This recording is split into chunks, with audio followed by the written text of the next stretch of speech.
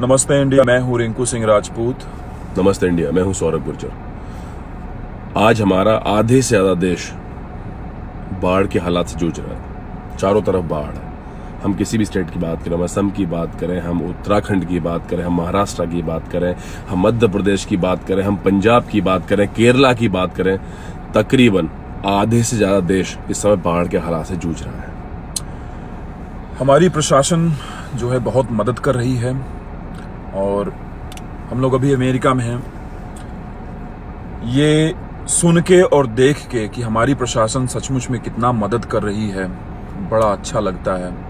और हमारी और सौरभ की यही हाथ जोड़कर प्रार्थना है कि आप सब लोग ज़्यादा से ज़्यादा मात्रा में इकट्ठा होइए और उन सभी पीड़ितों के लिए खड़े हुई एक साथ होके और उनकी मदद करें। रिंकू, शासन, प्रशासन अपना काम कर रहा है। हाँ सारी ज़िम्मेदारी हम उनके ऊपर नहीं डाल सकते।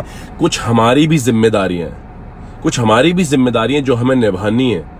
अगर आप आपके आपके किसी पड़ोस के गाँव में बाढ़ के हालात हैं तो वो पड़ोस के जो गाँव के लोग हैं वो उन्हें ट्रैक्टर ट्रॉली की सुविधा दे सकते हैं वो उन्हें खाने की सुविधा दे सकते हैं दवाइयों अरेंज कर सकते हैं कहीं से भी ला के दे सकते हैं। और कर भी रहे लोग। कर रहे हैं। ऐसा नहीं है लोग कर रहे हैं लोग पूरी मदद कर रहे हैं। लेकिन हमारा कहने का अर्थ सिर्फ़ ये है कि ज़्यादा से ज़्यादा हम लोग अपने पड़ोस के जिलों की, अपने पड़ोस के शहरों की, अपने पड़ोस के गाँवों की मदद करें।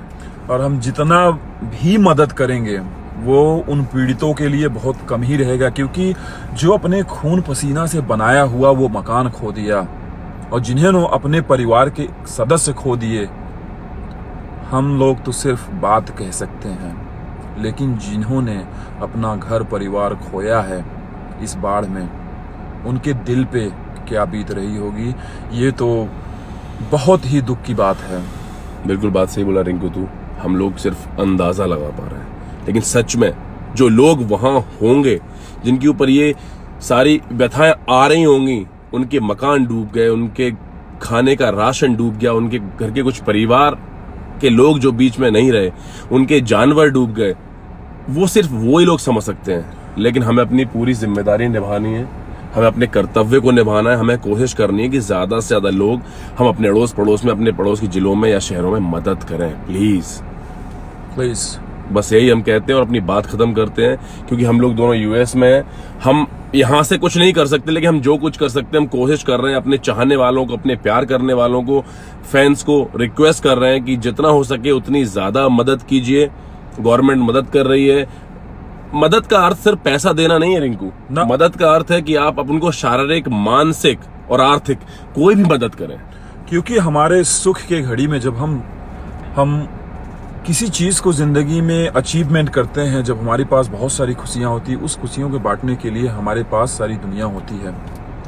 लेकिन सचमुच में हमारी दुख के घड़ी में जो आता है हमारे साथ होता है कंधे से कंधा मिला के चलता है वो घड़ी कुछ और ही होती है। और इस मदद की घड़ी में हम सभी को इकट्ठा होना है और एक दूसरे की मदद करना है क्योंकि आखिरी में हम सब इंसान ही हैं। इंसान है और हम एक ही देश के नागरिक हैं और हम सब भाई भाई बहन हैं। हम सब परिवार हैं। बस यही हमारी बात है। नमस्ते इंडिया। नमस्ते इंडिया।